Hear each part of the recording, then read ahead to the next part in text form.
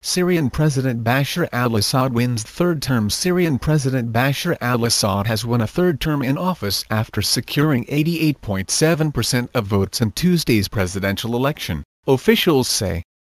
Earlier, Syria's constitutional court put the vote turnout at 73.47%.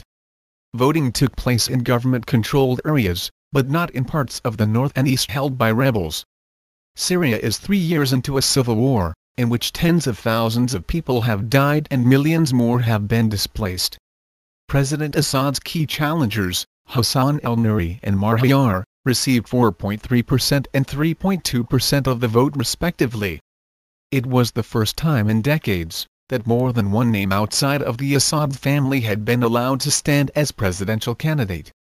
But the Syrian opposition in rebel-held areas had dismissed the election as a farce, arguing that it has no credibility in the midst of a civil war. The results of the election were announced by Parliamentary Speaker Muhammad al-Laham on Wednesday,